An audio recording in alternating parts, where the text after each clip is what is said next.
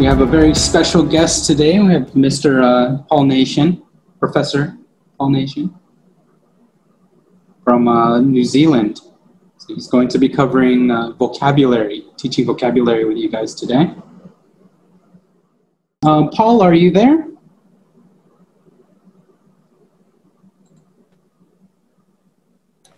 Yes, I'm here. Can you hear me? Yes, I can hear you. Just need your camera. I'll be handing it off to Paul.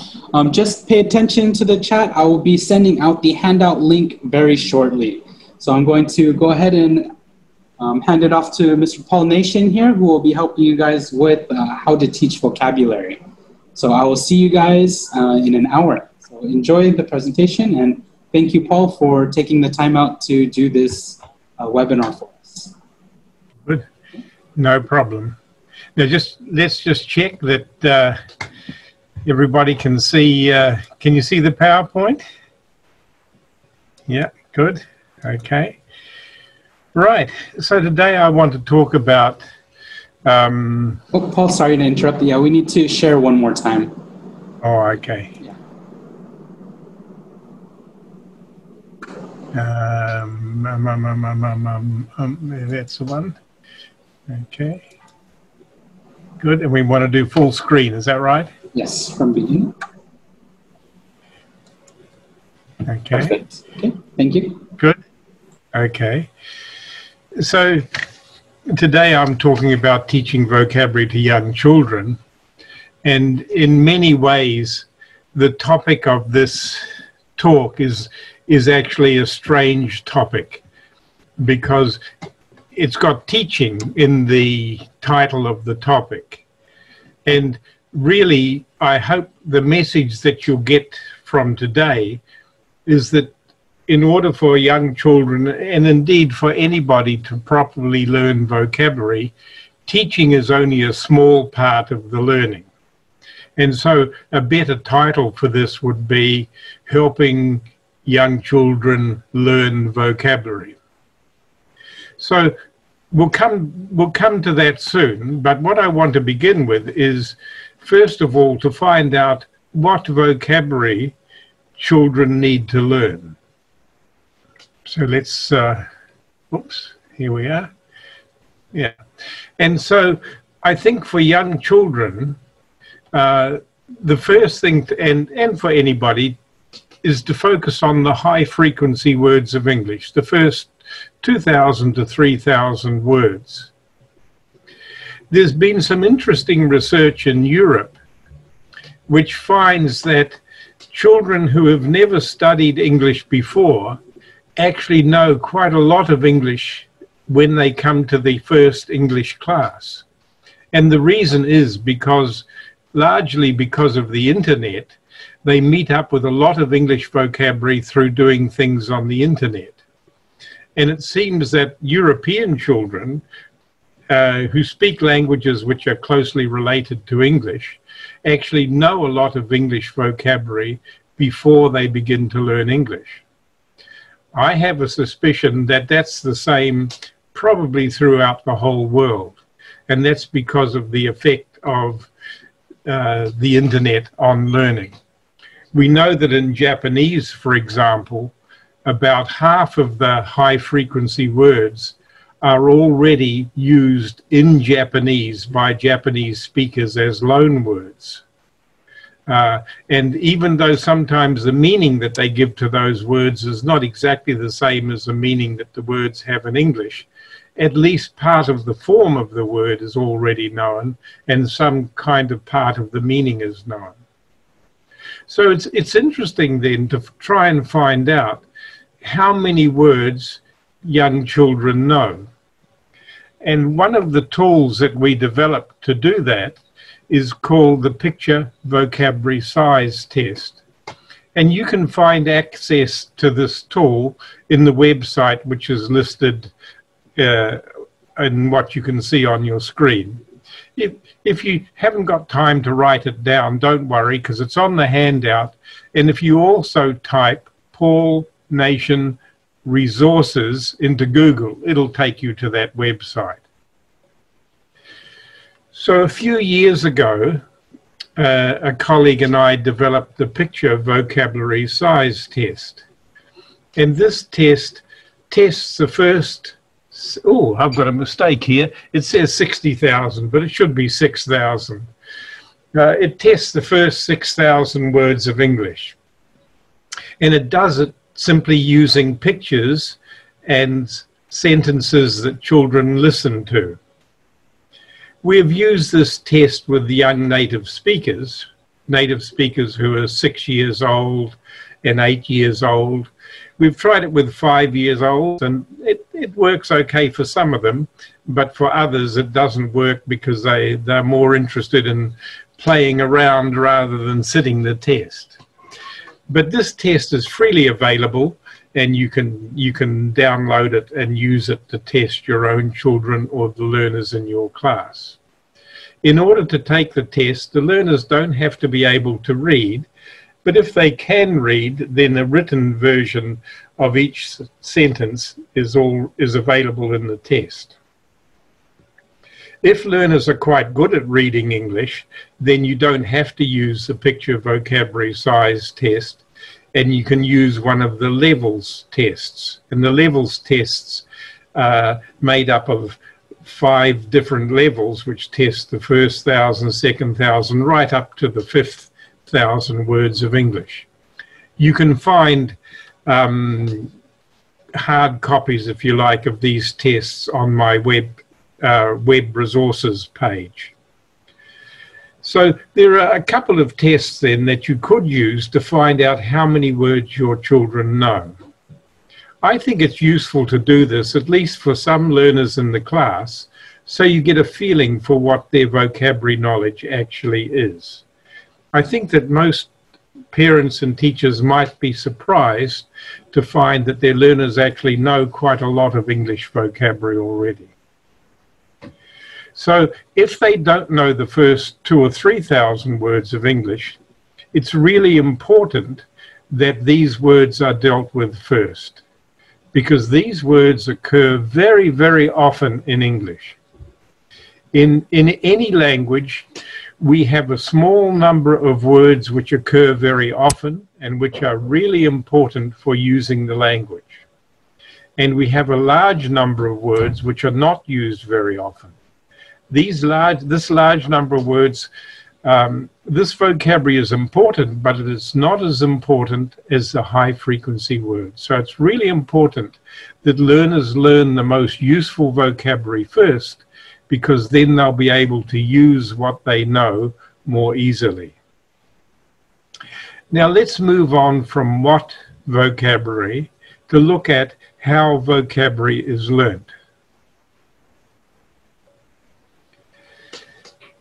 In a well-balanced language course, vocabulary is learned across four equal integrated strands. Now, integrated here means each of the four strands covers roughly the same material. It should include the same vocabulary and ideally would include the same content material.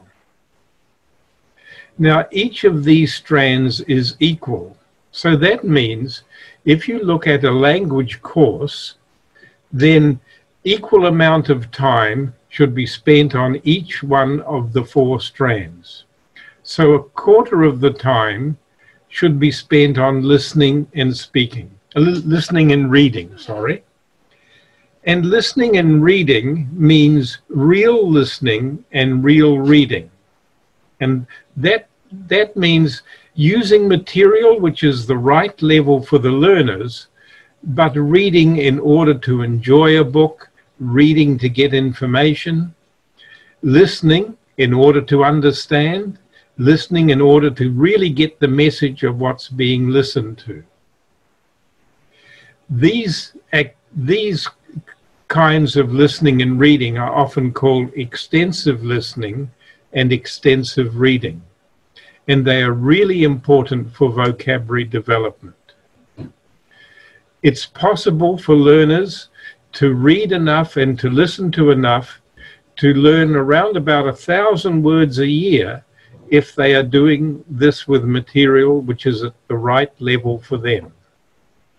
So that means about a quarter of the time in a good English course should be spent reading graded readers, which are very easy and at the right level for the learners, and listening to material which is really easy and interesting and is at the right level for the learners. I'm waiting for the day, which I think will come very soon, when listening material can be edited to get out the words which are not high frequency words and replace them with low frequency words so that the learners can listen to material uh, which is at the right level for them in the same way as which they can read where the low frequency words have been taken out and replaced with high frequency words. Okay, I see a few questions. Um, does, does anybody want to ask a couple of questions now before I continue? Gary, can we handle that? Yep, that's fine. So if you guys want to uh, put some questions in the chat, uh, I did see one earlier. Um, we had a question from Julian. How about infrequent words such as lion and tiger, etc.?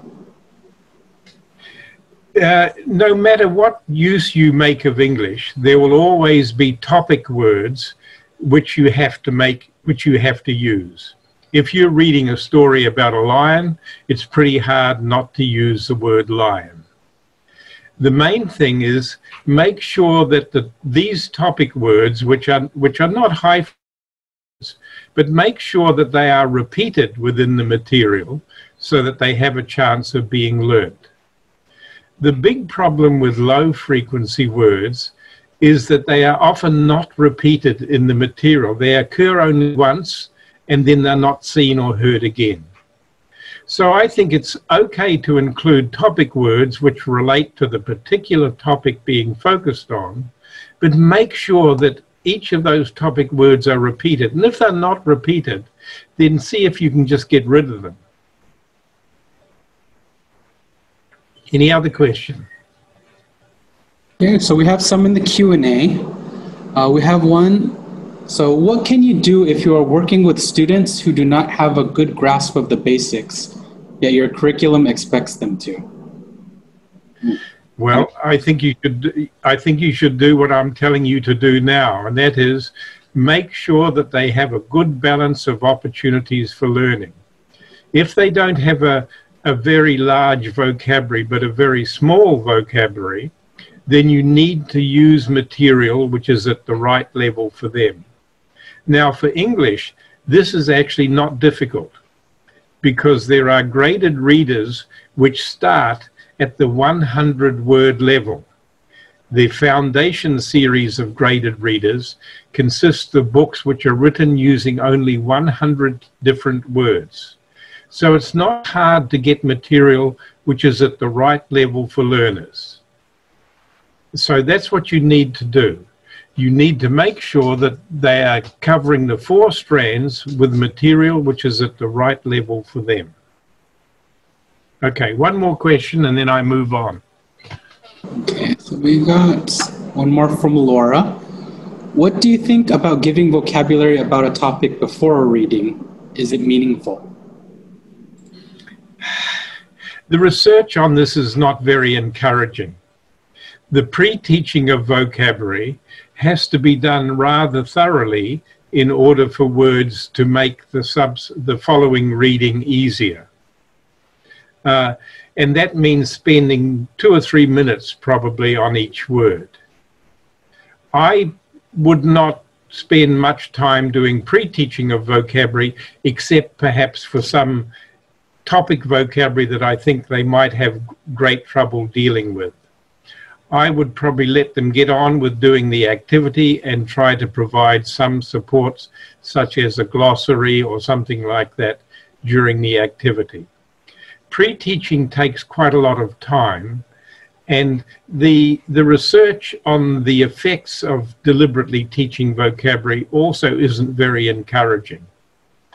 If you look at experiments on this, after vocabulary has been taught by the teacher, you're lucky if half of the learners can get it right on a test which follows the teaching. And that's on a receptive knowledge test. If you use a productive knowledge test, you're lucky if a third of them get it correct. I think it's not a bad idea to do a little bit of background knowledge teaching, bringing in the vocab like that, but it will just be the first meeting with the vocabulary. But in general, I wouldn't spend a lot of time pre-teaching. I would rather the learners get on and experience the input itself. Okay, so the first strand then of a course where we would expect a lot of vocabulary learning to take place is the strand of input, and that is learning through listening and reading. And I call them strands because they are a strand is, you know, uh, your, your hair consists of strands of hair. I used to pull out a piece of my hair each time I taught a class to demonstrate what a strand was, how something which is long and continuous. In my present state, I can't afford to do that.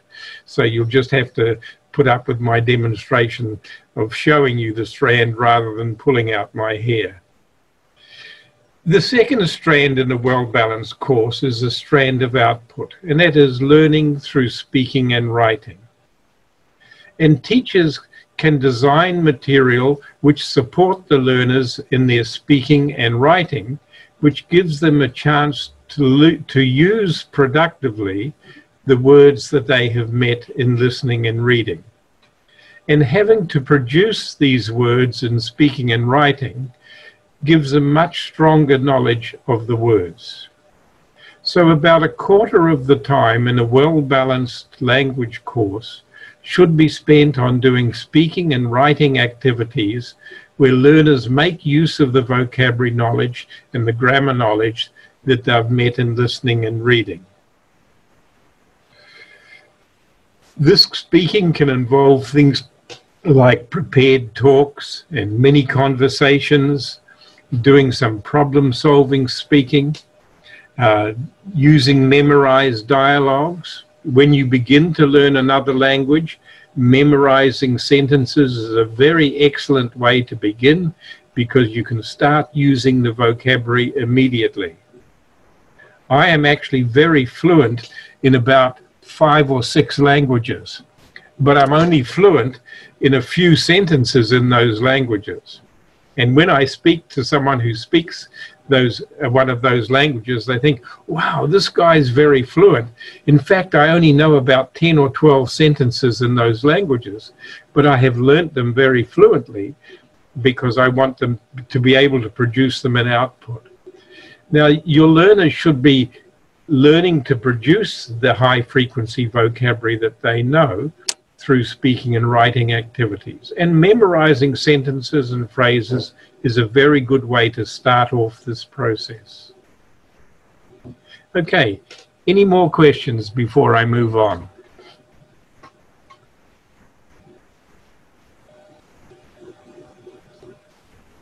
Yeah, it looks like we have a lot of questions, so maybe if we have time at the end, we can uh, have a, a Q&A oh. session.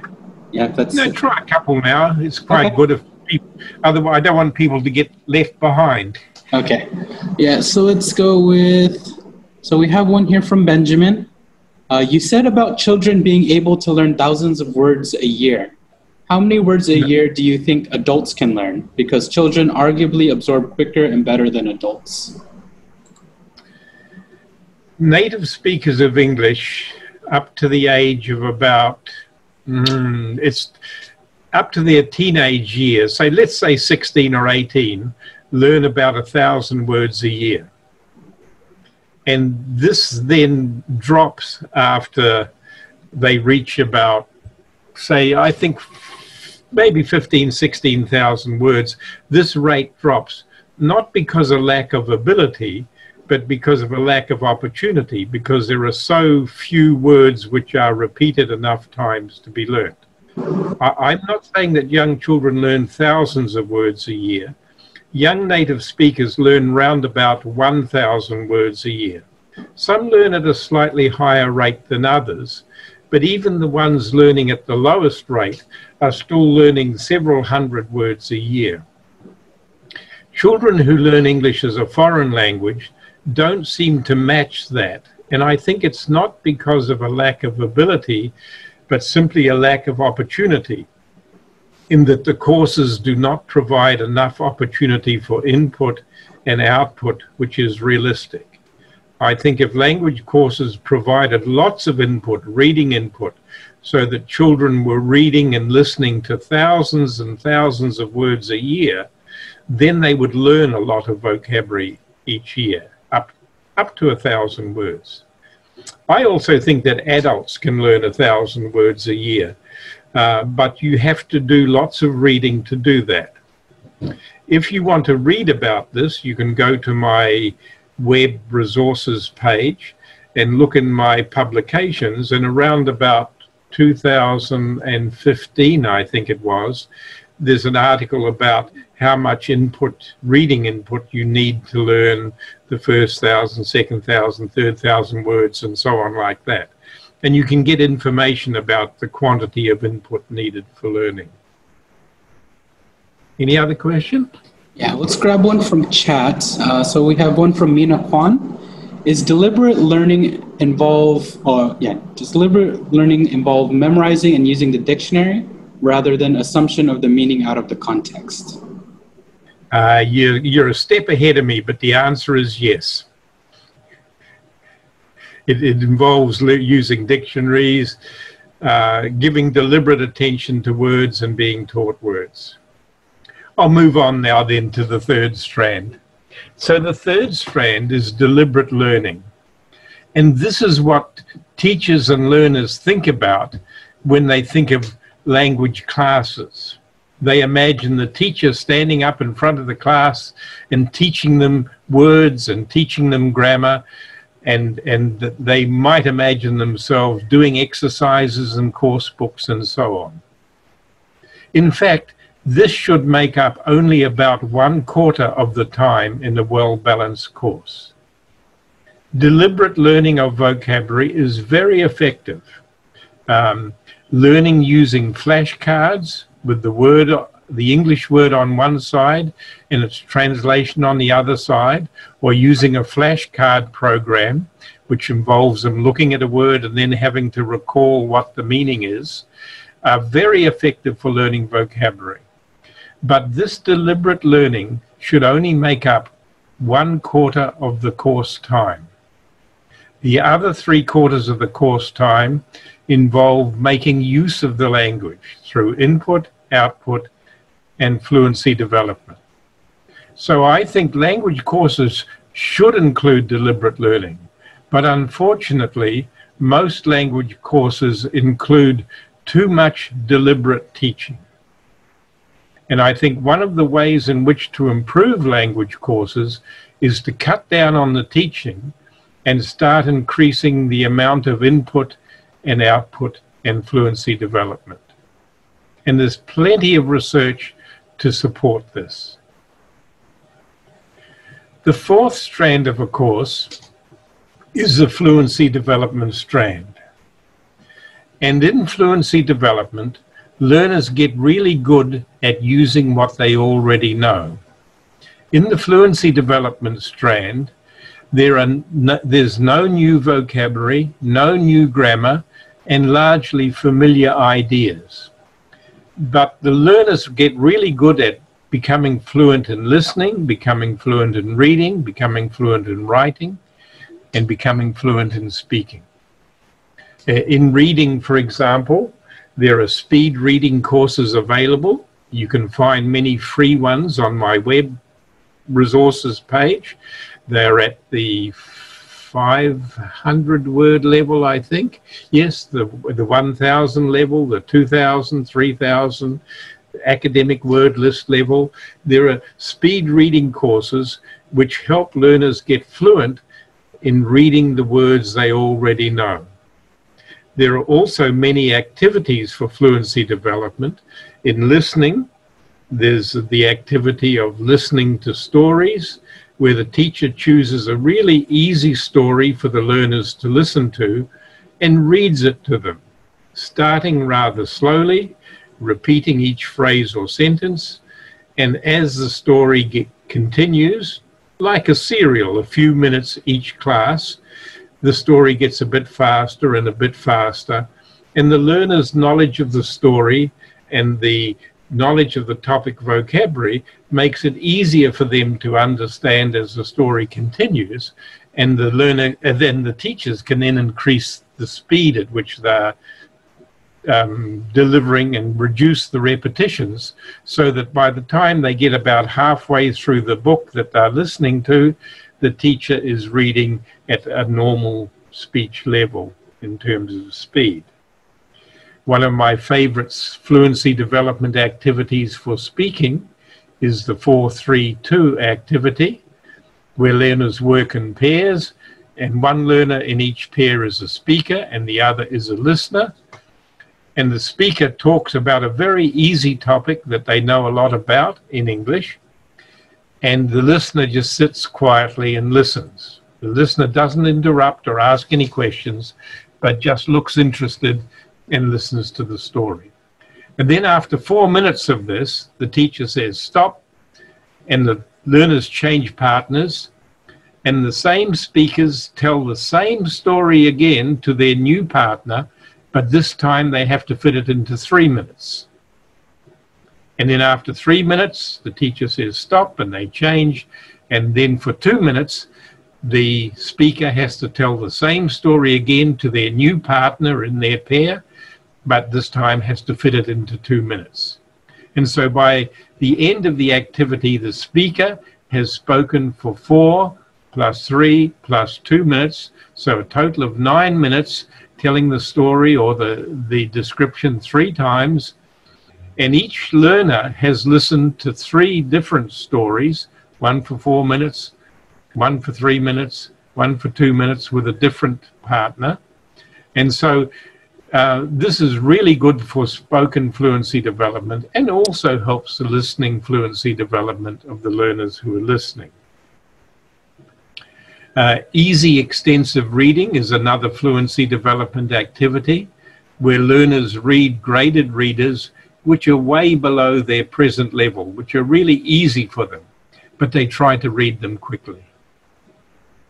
Uh, 10 minute writing is a very useful activity for improving fluency in writing, and that is where learners can write about anything that they want to write about, anything that they know a lot about. And they write for 10 minutes where the teacher says go and the teacher says stop after the 10 minute period. And then they count the number of words they've written and put them on a graph. And then the next time they write, they can continue with the same topic or write about something different, but this time they have to try and write more words than they did before. So, a well balanced language course then provides opportunity for learning and for vocabulary learning through input, through output, through deliberate learning, and through fluency development. And the really important thing to remember about these strands is that each strand should get roughly equal time in a course. So if you're a teacher and you want to check whether you're putting the principle of the four strands into practice, you should look back over your teaching over the last two weeks or a month and say, well, what activities did I do in this lesson? What strand would I classify that activity into? And how much time did I spend on it? And you do a little bit of adding up like that to see if you're getting a roughly equal balance of the four strands. I'll pause there for a few questions if you like. Yeah, so going off of what you just said, we had a few questions regarding, I guess, uh, the prioritization of each of these strands. So we yes. had kind of a question here of in two hours a week of English, uh, which strand should be prioritized? And uh, kind of a double headed question is it plausible to incorporate these four strands in a single lesson to optimize students' lexical gain? Yeah. Uh, you don't you don't have to incorporate them in a single lesson. You can if you want to, but there is no special reason to do that. But in terms of prioritization, there is no prioritization. Each strand is important. And so you should get equal opportunity to learn through each strand. So a quarter of the time on input, a quarter on output, a quarter on deliberate learning, and a quarter on fluency development. So prioritization is not an issue at all here. Each of those four strands needs equal attention. Any other questions? Do one more before we move on. Um, let's see. Uh, was it? Sorry about this. So, do you think academic vocabulary should be taught separately from the rest of vocabulary? Uh, no. Uh, I think we, we're getting beyond children here, but if we look at academic vocabulary, academic vocabulary, um, we divide up the vocabulary of, of English uh, in two major ways. One way is to divide it up according to frequency, and that is to say, high frequency words, mid frequency words, low frequency words. And we generally use data counts to to decide what's the first thousand, the second thousand, third thousand, and so on. If you're interested in these words, if you look at my resources page, you will find that the, we have the head words of the first 10,000 words of English listed there for you to look at and use if you want to use. Another way of dividing up the vocabulary is to look at specialist areas of knowledge and to say, well, is there a vocabulary for academic uh, study? And there is, clearly there is. And is there a vocabulary, a technical vocabulary for each subject? And clearly there is. And so we can focus on academic vocabulary and technical vocabulary as separate kinds of vocabulary. But academic vocabulary and technical vocabulary come from the various frequency levels of the first thousand, second thousand, third thousand, and so on. And the reason for focusing on academic vocabulary is if you have a class of learners who are going on to do academic study in English in secondary schools or in universities, then one way of quickly getting the vocabulary that they need is to focus on this specialized academic vocabulary. So it's a good idea to focus on it if the learners have that purpose for learning English. Good. Okay, we'll move on. So we've now looked at the four strands, and in the handout which goes with this, there's several teaching activities which are mentioned. If you look at my resources page, you'll also find that there are many free videos, short videos, which demonstrate these teaching activities. And so you can just click on them and watch, for example, learners doing the 432 activity or watch learners doing extensive reading. Our goal is to get about 40 different activities up on the web in free videos so that teachers can see them.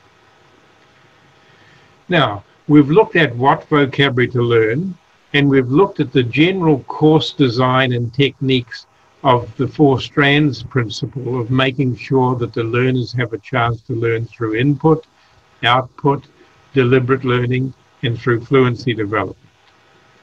Now let's narrow down and get more particular about vocabulary learning. There are two things that really matter in vocabulary learning. Repetition and the quality of meetings with words. The more often the learners meet a word, the more likely they are to learn. So that's why repetition is important. Meeting the word again and again and again increases the chances of it being learned. There are various kinds of repetition. I've listed them there in the PowerPoint, which is exact rep repetition, where the word occurs exactly in the same form and, and through the same listening, speaking, or reading, writing medium as it occurred before. or it can occur in a varied repetition. That is, where either a different form of the word occurs, such as plural instead of singular, or past tense instead of present, or occurs in a context which is different from how it was met before. When you learn words through flashcards or word card learning, you are using exact repetition because you're just looking at the same word form and trying to recall the same first language meaning. When you do extensive reading, you are doing varied repetition because through studying extensive reading texts and other reading texts, we have found that words typically occur in different contexts each time they occur. Some words occur in sometimes in exactly the same sentence as they occurred before, but typically there is some change in the context. And this is good because varied repetition is more effective than exact repetition. Both are useful, but varied is more effective. And when learners do extensive reading and extensive listening, they get many opportunities for varied repetition. Now, two other aspects of repetition, whether it's immediate repetition or spaced repetition, are very important. There's a, immediate repetition means you meet something and then immediately you look at it again or hear it again and immediately you hear it again. So when you are studying word cards or the teacher's teaching a word, you get immediate repetition. Spaced repetition in, involves meeting the word again, but a few hours later, or a day later, or a few days later. Spaced repetition is much more effective for long term memory than immediate repetition. This is one of the strongest findings in memory research. If you want to use repetition to help learning, use spaced repetition. That is, give attention to something now and then give attention to it again in a few hours' time, give it attention to it again a day later, give it attention again a day after that, and so on. It's much more useful to space your repetitions than to do a lot of immediate, hard, hard work, if you like, concentrating, doing it over and over again for an hour. Doing it over and over again for an hour, doing exact repetition for an hour, Uh, exact immediate repetition is not nearly as effective as spacing the, that repetition using the same amount of time but spacing it across many days or weeks. So repetition is important.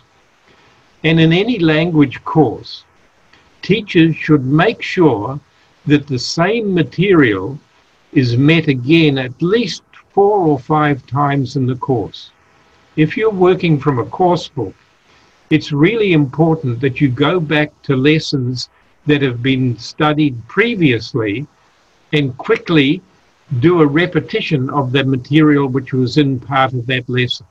If there was a reading text in the lesson, go back to it a week later when you're on another part of the book and have get learners to quickly read what they read before. Or take an exercise from a previous lesson and change it in some small way so that the learners have to do it again. One of the teacher's goals in making sure that learning occurs is to make sure that the same material is met many times in a course. So repetition is really important. It's the basis for vocabulary learning and for most learning. The, second factor, which is really important, is the quality of meetings with words. When you meet a word, what do you do with that word at the moment that you meet it? And what I've done in the in the PowerPoint is to list deepening ways of the quality of meetings with words. Simply noticing a word is the most superficial meeting with a word. It's useful, but it's not a very deep way of processing. Looking up a word in the dictionary is noticing. Hearing the teacher explain the meaning of a word is noticing. This helps learning, and it's a really good first step in learning a word. Guessing a word from context is noticing. Now, if you want to really learn a word, you must then go to deeper levels. And the, the next level is the level of retrieval. And retrieval involves having to recall what you have learnt before. So when you learners do extensive reading, they'll meet a word that they don't know and either guess its meaning, look it up in a dictionary, or ask someone to give the meaning of the word. Then when they meet that word again, they have the opportunity to try and recall the meaning that they met before. This retrieval is really important for learning and it strengthens the connection between the form of the word and the meaning of the word. Now, an even deeper condition than retrieval is varied retrieval. And we looked at that in terms of repetition. And that is meeting the word again in a new context and having to retrieve or recall the meaning that the word had when you met it before.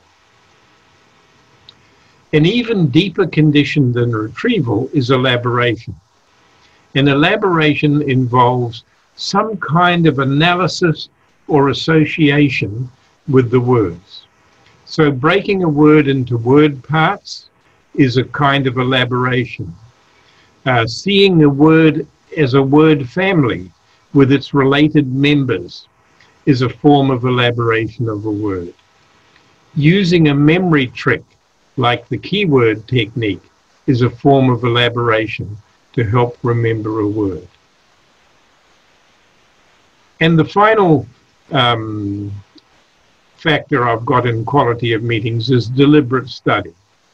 Giving deliberate attention to a word by studying it on word cards is a way of adding quality to the meetings with words. So if vocabulary is repeated, and if the meetings with the words each time it is repeated is deep and thoughtful, then vocabulary has a very good chance of being learned. I think we could probably pause there for a few questions. Yep, so going off of that one here, so we have a question here. In terms of spaced repetition, is it effective for remembering low frequency words? It's effective for remembering all words. And, and it's not only effective for vocabulary, it's effective for whatever learning you want to do. Spaced repetition has been researched across a whole range of learning situations, learning ideas, you know, under, um, learning facts about the world, learning vocabulary, learning people's names, whatever. Spaced repetition is effective for all of those kinds of learning. Do one more here. What might be an optimal number of word re-encounters in order to sustain incidental vocabulary learning through listening or reading? For example, some suggest that six to eight times should be enough, while others say 20 times or even more would be required. Yeah, this is what we call the holy grail of vocabulary studies. How many repetitions are needed for learning? There's no easy answer to that, but there is very interesting research about it. The reason there's no easy answer is each word is not of equal difficulty when it comes to learning. Um, it depends on the relationship between your first language and English. If, if you're a Spanish speaker learning English, then a lot of words require very few repetitions indeed because they're almost the same word as in Spanish. Some words uh, are very complicated, have very irregular and complicated spellings. So this requires more effort. Some words have concepts which are really quite difficult to understand, and you have to really experience the use of that word in, in a lot of different contexts before you come to a real understanding of what that word means. So all words are not equal in difficulty, and that's why we don't have a, a fixed number of repetitions. But there's been very interesting research done by Norbert Schmitt and his students using eye tracking. And what they do is they get learners to read a text and they use eye tracking software to see how long they focus on each word that they that they're reading. And they can measure what fraction of a second or how many seconds they're focusing on each word. They find that with about around about somewhere between five and seven repetitions, a word which is unfamiliar to the learners, once it's met around about five or six, or seven times, they the the amount of time spent focusing on the word is the same as the time spent focusing on already known words. So th- th- this is quite clever research because it's getting sort of saying, well, if the learners meet a new word and then they meet it several times, how long before it's treated as if it's a known word? And it seems to be somewhere around about five to seven repetitions. I think, however, that if you also back that up with a test, you would find that their knowledge of the word is still a little insecure and that more repetitions would be much more, much would be very useful in strengthening knowledge of that word. So we're looking at a, a, a very minimum of, of, say, five or seven repetitions. But I think we really need to be looking at something like 15 or 20 repetitions. Rob Waring, uh, Waring and Takaki's study of, of vocab learning from reading a graded reader found that after 15 or 20 repetitions, some words were still not learned. Other words were learned, but some words were not. So you really have to have quite a lot of repetitions. Any other questions? Yeah, we're running down about 15 minutes. Is that going to be enough time for you? Uh, just checking it. Yeah, yeah, that's fine. I'm going to get to the end. Okay. All right. So we'll do pull one question here from the chat. Last one. Does repetition vary according to the age and how intense it should be for little kids? Oh, that's an interesting question. I don't know if if there is a difference in repetition between learners of different ages. It would, it, it's an interesting research question. Uh, if you're thinking of doing a PhD, that would be a really interesting question to investigate. There'd be lots of difficult variables to control, but I, I just don't know the answer to that. Um, my guess is that there would not be a difference between children and young adults, and even uh, the, the relationship between age and learning is a difficult one. But I, I would think that there shouldn't really be a difference, but maybe there is. Uh, what was the second part of that question? How, how intense should it be for little kids? How intense? Yeah. Well, it should be spaced. And so re- re- repetition, so spaced repetition. By intense, I'm, I'm sort of understanding that you're looking at immediately going into the word again and again and again. That's not a good way of learning. A good way is to do something with the word, meet it in the piece of reading, look up its meaning in the dictionary, or talk about it a little bit with someone, and then come back to it the next day. So, in that way, it shouldn't be intense. If intense has the meaning of should the learners be reading lots of material and listening to lots of material, then yes, very much so. The more input there is, the greater the amount of learning will be. Okay, let's move on then to the final section. How can parent, teachers and parents support vocabulary learning? Number one, make sure the learners are focusing on useful vocabulary. I talked about this uh, earlier on. Uh, it's useful to know how many words your learners know. Teachers tend to underestimate how many words their learners know. This occurs with both native speakers and non-native speakers. And it's useful then to, to actually get some of your learners to sit a test to see how many words they know.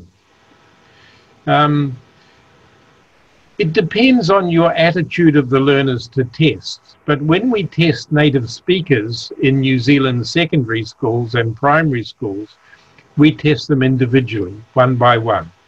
And this takes a lot of time.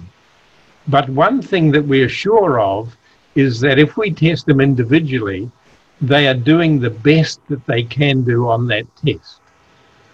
When we compared testing learners in groups with testing learners individually, we found that for about a quarter to a third of the learners, their score in a group situation where they're all sitting, you know, answering a test without anybody sitting next to them, they didn't do nearly as well as people of the same level did when they were had someone sitting next to them keeping them on task and doing the test. So initially at least I would be testing learners individually with the teacher sitting next to them and making sure that they're giving it their best shot and using the best test taking strategies. So that's the first thing then. Find out how many words your learners know and make sure that they are focusing on the vocabulary that they that they need at that level of knowledge. Is it the, the high frequency words? If it's the high frequency words they need to know, is it the first thousand, the second thousand, or the third thousand?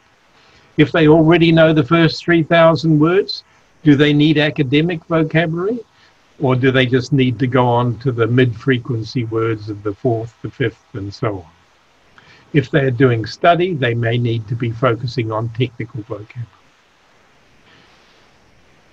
Second guideline encourage learners to do lots of listening and reading at the right level. Um, this is very, very important. One of the people who has done the most to encourage the, uh, the idea of the importance of quantity of input is Stephen Krashen. And over the years, Steve Krashen has really pushed the idea of the importance of extensive reading for vocabulary learning. I think he's right about that. Uh, I disagree with him that this should be the major kind of learning, and in fact, the only kind of learning that learners do. But I think it's a really important part of the course. Recently, Rob Waring and I did uh, published a book on learning from extensive reading and we reviewed all of the research that was available to us and, and sorted out what we thought were the best pieces of research and, and reviewed them very thoroughly. And th- there's no doubt that getting lots of reading input and listening input is a very good way of increasing vocabulary knowledge. There's a few little techniques and strategies which can go with this listening to stories is a listening activity, one of my favorite ones actually. And I think, I'm not quite sure, but I think there's a video about that. The pause prompt praise procedure is quite useful, and that is if you are working with a learner individually, if you're a parent helping your children, your child learn to read, then you shouldn't rush in with answers when they struggle with words in their reading. You should pause. And then you give the prompt means give them a clue. You know, the first letter is P or something like this. And then when they get it right, praise them. So, really, what pause, prompt, praise does, that little procedure, is to make sure that learners have a chance to do retrieval. And you might remember that retrieval is a really important quality condition for vocabulary learning.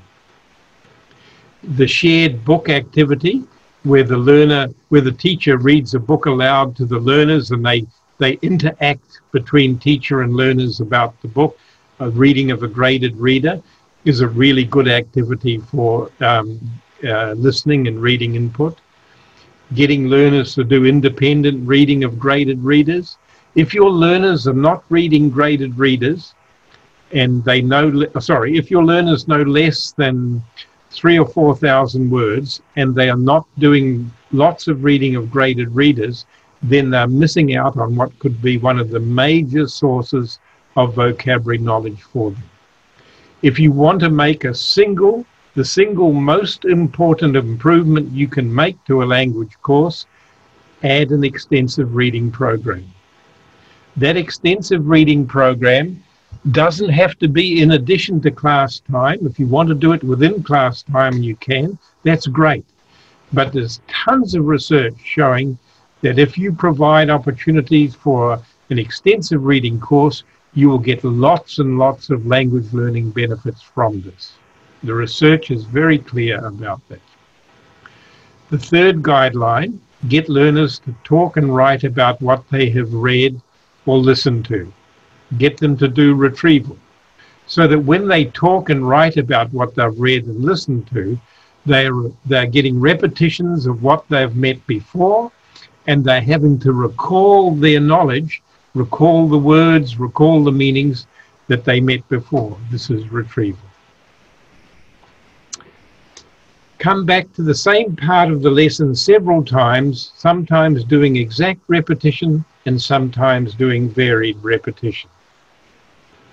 Uh, about a third of the time in a language course should be, at least, should be spent dealing with material which has already been dealt with before, but dealing with it in a faster way or in a somewhat different way from how it's been met before. Quickly give the meanings of words when they are needed. Using the first language is good for doing this, but keep most of the lesson in English. There's, there's teachers have generally been told that it's not good to use the first language in the classroom. I can see the reason for giving that advice, and that is the learner should get as much input in English in an English lesson as possible. But giving the meanings of words through using a first language equivalent is a very effective way of teaching vocabulary. And the research shows that this, in fact, compared with pictures and dictionary definitions and second language definitions and so on, using the first language is by far the most effective way of communicating the meaning of a word. Develop fluency by working with known material with some pressure to go fast. Learners need to learn quite a lot of words, a lot of vocabulary, but you not only need to learn new things, you need to learn them to a level in which they can be used fluently. So fluency development makes up, should make up one quarter of the course time, dealing with familiar, known material across the four skills of listening, speaking, reading, and writing, and pushing to go a little bit faster than would than the learners would normally be able to deal with. This doesn't mean going faster than native speakers. It simply means going faster so that you start to get to the speed at which a native speaker would be able to speak, listen, read, write. Teach learners how to learn. Even very young learners should know the importance of repetition. They should know the importance of spaced retrieval. They should know the importance of varied retrieval. They should know the importance of getting quantity of input and output. They should know about the four strands. They should know the value in analyzing words into word parts and making meaningful connections between form and meaning. And they should also know about the importance of learning high frequency words between low frequency words. This is what I mean by cost benefit. At any stage of a language course, the learner should be getting the greatest benefit they can from the cost of the effort that they put into that learning. And this happens by learning words roughly in order of frequency levels. I think teaching learners how to learn is very important because when learners can take control of their own learning, then they can really learn without the need for a teacher being there and they can learn um, outside of the classroom. The final thing is teach learners about vocabulary, word consciousness. I haven't talked about this, but there's lots of ideas about vocabulary that learners should really start to deal with. And these are ideas, for example, that words occur in word families. so that there are families of words which share the same stem but have different prefixes. They should learn um, about the frequency levels of words and all of this sort of stuff. I've written about this in another book, uh, which I'll show you in the further reading, about what every primary school teacher should know about vocabulary. There's a whole chapter on word consciousness in that. So I think what I've given here is eight guidelines for you to follow regarding the learning of vocabulary. You can apply these guidelines whether you teach from a course book or you use your own material, whatever, it doesn't matter. But it's really important that you follow principles like that so that learners get the opportunity to learn across the four strands. Okay, I'm happy now to answer or try to answer any questions you want to ask. So we have about a minute or so here, so we can pick about one question. Um, let's see. We have just saw a question a second ago. Uh, I think it was in the Q&A. Yeah, so this one was a bit of a long one. So when we have students retell what they have, what they have read or listened to, we expect that they would use newly acquired words from the given input in their talk. However, this is not always the case as students often avoid using the words that they have not fully mastered yet. Should we still push them to use these newly learned words in their retelling, even though this does not appear to be an authentic task? I, my feeling would be that you probably should not push them. Um, one of my PhD students did some research on this with the idea of using words learned from reading in their writing. And they found that, as you said, that learners were reluctant to use words that they didn't feel they knew well enough. I think it's okay for learners to be brave enough to take risks, but I also feel that uh, if they feel uncertain about that, I think it just adds stress by pushing them to use it. I, my guess is then that the activity that you're doing should really be based on material which is a bit easier. Okay. And then do one last one here. Uh, can you talk a little bit about your thoughts on visual scaffolding for vocabulary? How much does it matter to have images connected to input? Well, I think images connected to input can be a form of elaboration. So I, I think it can have a very positive effect on learning. Um, the only trouble is that you've got to really make a good connection between the visual input and the vocabulary. Um, for example, having pictures and reading books uh, has mixed effects. Sometimes it doesn't help reading and the learning of vocabulary because the learners are getting the meaning through the pictures rather than through the text. And so there's some research which shows that, in fact, pictures don't make uh, reading books better at teaching reading comprehension. But I also think that having striking visual images where learners associate words can be a form of elaboration which makes words stick in memory. So I think the effects are, are mixed. Um, and I think that it should be something that you use rather carefully. So we'll go ahead and end it there. If you guys have any other questions uh, for Paul, uh, you can feel free to email us at um, eFuture and we can uh, relay some of these questions to you, Paul, if that is okay.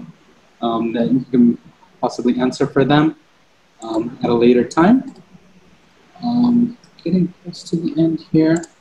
So just want to give these final information for all of our attendees here. So thank you so much uh, for joining with us. Um, so just to give a big thanks again to Paul Nation for taking his time out for you know a lot of useful information for for all of you teachers out there. Hopefully you guys learned a lot. I know I did. It's great to have all these great questions and have them answered. Um, so please feel free to send some questions our way as well.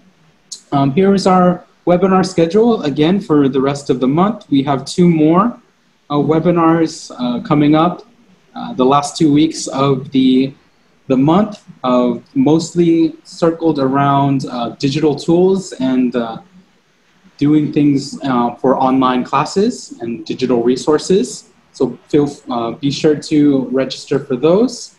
regarding the certificates and um, and getting the slides, this these are our partners that you should contact for certificates and for uh, if you need or want uh, Nation's uh, PowerPoint. So feel free to contact these uh, wonderful people here. Um, so these are our partners. And for those that aren't in the countries listed here on the very bottom, just contact us directly for all of these. And again, follow us on our all of our social media, and all, we have Facebook and we have YouTube. The webinar will be uploaded to our YouTube channel. So for those that want to review all the things that were covered today, uh, we will be posting the webinar on our YouTube channel. So don't be don't be too worried that this is a one and done deal. We do have it uh, on our YouTube channel very soon. And for all of the updates and everything, please follow us on Facebook. Our Facebook information is here. I'll be sure to update all of our uh, webinar postings. So when the video is uploaded on YouTube, we will be posting the link on the uh, September schedule and updating it that way as well. So be sure to look out for that. And I believe uh, one of my colleagues did post the survey feedback form in the chat. So please feel free to fill that out.